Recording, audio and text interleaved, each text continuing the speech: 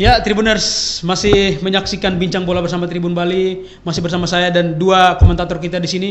Kita kembali lagi membahas soal Komang Teguh, putra Bali yang saat ini sedang uh, mengikuti pemusatan latihan bersama timnas U19 asuhan pelatih uh, Sintayong di Kroasia. Dan Pak Nyoman, ini sangat menarik nih bahas soal uh, Komang Teguh nih, pemain muda uh, dari Bali yang menurut saya sudah memiliki banyak prestasi ya, Bung, uh, melalang buana ke berbagai kejuaraan ke kejuaraan di di Menpora atau di Piala AFF juga. Sempat meraih juara Piala AFF U16 tahun 2018 itu seperti apa perjalanan itu? Bapak bisa ceritakan? Eh, waktu itu eh, Piala AFF eh, itu kan di sidoarjo, Ya. jadi kita keluarga kita dukung ke sana juga, jadi eh, kasih kasih support yang Sempat karena- berangkat sampai ke Sidoarjo. Ya, kita kita ikut juga ke sidoarjo, jadi kita support ke sana. Udah itu karena di timnas itu kan kita Iya. nggak boleh sembarang ya masuk hotelnya macam-macam gitu. Iya, iya. Kita maunya sih Ah. mau melihat, mau kasih dukungan, Iya. tapi hanya boleh di lapangan saja. Hmm. Jadi kita support dengan sekuatnya lah, kami kasih doa yang terbaik untuk Hmm. anak dan supaya bisa juara dan itu kami berterima kasih banyak Iya. ber- eh, kepada Tuhan yang Maha Esa Iya. yang, sudah mengabulkan doa kami keluarga itu juga menjadi kebanggaan untuk kita Hmm. dan juga untuk keluarga besar kita untuk Iya. masyarakat Bali Iya. juga. Iya. Ya itu tadi kejuaraan di Jepang itu setelah juara di Jepang kemudian ke Piala AFF Ya, U16. U16, ya, Itu ya. itu bagaimana tuh Pak perjalanannya dari dari juara setelah di Jepang terus juara Piala AFF. Setelah itu Komang Teguh bersama teman-temannya ke mana lagi? Uh, setelah dari AFF dia uh, ikut uh, Piala AFC.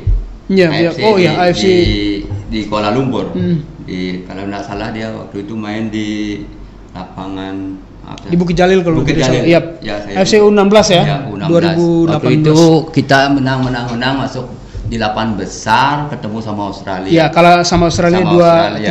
3-2. Ya. Jadi waktu itu juga saya datang ke sana untuk melihat Ke Malaysia? ke Uh. Malaysia ya. Jadi ya untuk support orang. Iya, memang memang harus seperti Ya, itu, Bung ya. Ya. dukungan dari orang Ya. tua. Mungkin kalau sebelum bertanding sempat Ada sempat kontak-kontakan Ya, sama sampai saat ini seperti tadi pagi. Tadi pagi main, sempat? ya main mau bertanding saya selalu WA anak, Hmm. uh, mamanya juga selalu setiap hari mamanya uh, kasih support. Iya. uh, untuk komunikasi hanya chattingan saja. Ya, apa sih yang diobrolin selama chattingan sama dia, Pak? Ya. Selama jauh gitu. Hmm, Yang diobrolin? kami hanya bilang oke selamat bertanding, Hmm. tetap semangat di sana, turut apa yang Iya. dikasih sama pelatih sama uh, gininya di sana, anak uh, kamu harus ikuti, Hmm. tak boleh kamu melalaikan perintah dari pelatih dan staf di sana. Hmm. Dan selalu terima kasih jawabnya. Iya. Supportnya Dia- apa, dia- mama, keluarga Hmm. gitu aja. Dia biasa dia biasa nanyain apa Pak kalau dari sana ke sini gitu? Apa yang biasa dia tanyain? Uh, Komang jarang. Jarang nanya ya. gitu. Berarti dari sini yang nanya duluan ya berarti. Iya, kita nanya. Memang pendiam Ya, anaknya tuh. Ya, karena dia jarang mungkin itu beda ya. Anak-anak lain sering sudah bermain eh, di IG ya, kelihatan di IG Iya, atau di Facebook di media sosial itu. Komang kalau saya tidak salah dia posting di Kroasia sekarang hampir sudah dua bulan di sana baru dua kali dia posting. Oh. foto timnya kayaknya. Iya, kayaknya foto tim ya. Ya, foto tim dan dia di hotel waktu dia libur itu aja dua kali saja saya lihat Di postingannya. postingan. Ya. Iya. Nah, selama ini dia enggak begi- memang saya tekankan. Iya, Maaf ya, iya. dari saya sendiri yang menekankan. Betul. Kepada Kebetulan juga pelatih Sintayong Pelatih memang Sintayong juga ya, mengetatkan itu. untuk mengetatkan Itu. untuk apa pemain-pemain pemain. Tidak boleh bermain sosial. sosial. Jadi saya itu yang paling nomor satu jangan terlalu sering bermain media sosial. Hmm. Iya. Anak harus fokus dulu di TC. Hmm. nanti baru kalau ada waktu silakan. Iya. gitu. Ya itu aja ya saya kalau untuk anak-anak untuk ininya eh, untuk media sosialnya. Mm. Tapi ya saya anak ini penurut sih. Penurut ya, Komang? Ya penurut. Iya. Ya, Bung, mungkin Komang adalah salah satu contoh anak muda yang benar-benar ingin maju gitu ya. Eh, didukung oleh orang tua yang sangat sangat memberikan dukungan 100% untuk anaknya. Anda melihat seperti apa, Bung? Mungkin ini bisa jadi contoh bagi pemain-pemain muda Ya, di Bali. saya kira ini uh, men- bisa menjadi motivasi ya bagi Iya. pemain-pemain muda Bali khususnya. Uh, kalau mereka memang berkomitmen atau berkeinginan bercita-cita menjadi pemain, Mm-mm. tentu harus disiplin uh, dan tidak boleh setengah-setengah. Ya. Itu intinya. Tidak boleh setengah-setengah. Harus memang fokus kalau memang jadi pemain bola. Uh, selain pastinya akan mendapat dukungan dari orang tua, kemudian Iya. anak ini pun juga harus punya komitmen kuat bahwa dia harus bisa menjadi seorang pemain, Hmm. tidak sekedar menjalankan hobi. Iya. Ini Komang Teguh bisa menjadi motivasi bagi teman-teman uh, seangkatannya maupun anak-anak muda Bali Hmm. bahwa pemain asal Bali itu bisa menembus timnas. Iya, betul sekali. Nah, memang selama ini kebanyakan pemain Bali itu bermain di posisi pemain Posisi belakang ya. back ya. Iya. Kebanyakan pemain bertahan. Iya, pemain bertahan Iya. kiper. Mm-mm. Ya, kita lihat bahwa dari dulu era Galatama Mm-mm. ada Madi Pasar Wijaya, ya. Kijang Dewata. ya Gelora Dewata Kadek Iya. Kamu pernah Betul. dipanggil, Iya. Wayan Sukudano, kemudian Iya. uh, kemarin juga ada Kudu Gede Juniantara yang sukses juga di Piala AFF ya. Mm. Uh, kemudian suksesan Kudu Gede juga diikuti oleh Komang Teguh. Iya. Di Ada Gede Sukadana juga di Ya, pemain di bertahan. Sukadano, Gelandang bertahan. Gelandang bertahan juga. Mandeka Dika Wijaya juga Mm. sempat dipanggil timnas. Kemudian sekarang ada Ada Agung juga. uh, ya Kade Agung. Kade Agung agak sedikit maju ke Ya, depan. dia ke posisinya gelandang ya, Ya. yang, yang jarang ya, tapi Hmm. kebanyakan back.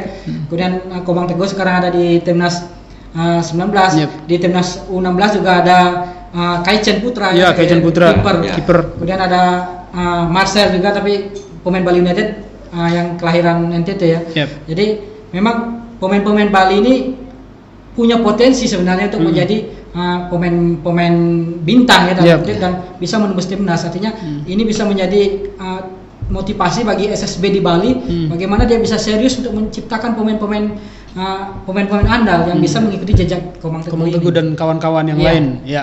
Kalau Bapak sendiri bagaimana sih eh, cara Bapak men apa ya mau dibilang mendidik? Bagaimana sih?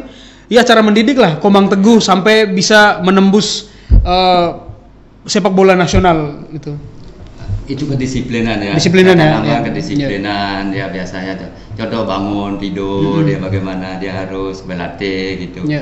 jadi dia harus tidur jam berapa itu Ya. saya, saya selalu sarankan itu itu kedisiplinan untuk istirahat yang Mm. penting itu Ya. Jadi Mem- Memang kedisiplinan itu memang sangat Kedisiplinan kunci. sangat kunci. Kedua saya kira faktor pengaruh lingkungan Bung ya. Iya, benar. betul. Ini tidak bisa kita pungkiri di Ya. Bali. Ya. Hmm. Uh, saya sering uh, ngobrol sama mantan pemain atau Hmm. uh, teman-teman pemain ya Hmm. bahwa pemain muda itu faktor lingkungan sangat besar pengaruhnya. Hmm. Ya kita tahu bahwa sekarang dunia ya ya Iya. bagaimana dunia milenial, Iya, betul. bagaimana pengaruh yang Hmm. sangat kuat dari ya kehidupan sehari-hari kita tahu lah bagaimana Hmm. anak muda itu kan sangat labil, Yep. dia sangat mudah terpengaruh. Hmm. Kalau istilah dulu itu kalau udah kenal leneng, istilah leneng itu ada tempat duduk di rumah, terus sering nongkrong di situ. Saya kira untuk menjadi pemain bola itu udah udah berat. Iya. Kemudian bagaimana pengaruhnya pengaruh lingkungan itu yang paling utama. Jadi Yep. di sinilah diperlukan kedisiplinan uh, si anak ini untuk menjadi uh, untuk bisa menjadi pemain yang bagus. Yep. Jadi memang harus ada dari dalam hati sendiri dari dalam jiwanya bahwa dia ingin menjadi pemain. Selain tentunya Yep. dukungan dari orang tua itu. Ya, mungkin ini langsung terakhir closing statement saja. Eh, apa nih eh, saran-sarannya untuk pemain-pemain muda di Bali dan juga untuk para orang tua di Bali dalam mem- membimbing anaknya kalau mau menjadi seorang pesepak bola profesional seperti Komang Teguh? Mungkin dari Ya saya kira itu dulu. ya Bung. Ya. Kuncinya adalah disiplin, uh, disiplin kemudian dukungan dari orang tua Hmm. dan si anak harus bisa melepaskan diri dari faktor lingkungan yang Ya. yang kurang baik. Ya. Bagaimana dia bisa mempunyai keteguhan hati, keteguhan Hmm. hati ya untuk bisa bahwa dia bisa menjadi pemain bola. Ya. Tidak boleh setengah-setengah. Kalau dia yang bercita-cita menjadi pemain profesional, bola, ya. harus serius, harus fokus. Hmm. Jadi uh, disiplin kuncinya itu seperti disampaikan Pak Nyoman tadi bagaimana dia bangun tidur, Ya. bagaimana dia mengatur pola makannya, Ya. uh, tidak begadang ya seperti Hmm. itu, apalagi sampai uh, terkena alkohol, saya kira Iya. itu harus dihindari ya. Itu yang Termasuk paling berbahaya. Rokok itu Hmm. perlu dihindari. Jadi memang komitmennya dia untuk menjadi pemain itu memang harus tumbuh dari dalam dirinya, Hmm. selain juga Iya. dukungan orang tua. Ya. Ya. Ya, kalau Bapak sendiri seperti apa nih, Pak? Terakhir. Eh, ya saya tambahin sedikit ya itu di samping disiplin juga kemauan anak ya. Kemauan anak juga Karena ya. Saya jam eh, dulu Komang waktu kelas 4 Hmm. dia sudah bilang Pak nanti Teguh mau jadi Oh. pemain timnas. Iya. Dia punya motivasi dari kecil sudah. Dari kelas 4 SD kebetulan waktu itu dia juara di SD Oh, iya. di sekolah. Mungkin itu yang mungkin yang punya motivasi Iya. untuk dirinya sendiri Iya. yang mempengaruhi. Ya. Iya. Jadi eh, kemauan anak harus ada dukungan dari orang tua juga untuk Iya, bisa benar. mencapai eh, menjadi seorang pesepak bola, pesepak bola profesional ataupun pada pekerjaan apa pun ya. Ya, Ya. betul. Ya. Ya, terima kasih Bung Kak Tujuh dan juga Pak Nyoman terima kasih banyak atas waktunya sudah berbagi cerita bersama kita di sini di Bincang Bola bersama Tribun Bali dan Tribuners itu tadi perbincangan kita soal pemain muda Bali United Komang Teguh yang saat ini sedang menjalani pusat latihan bersama timnas U19. Kami akan kembali lagi ke hadapan Anda pada episode selanjutnya. Jangan lupa klik like, komen dan subscribe. Sampai jumpa.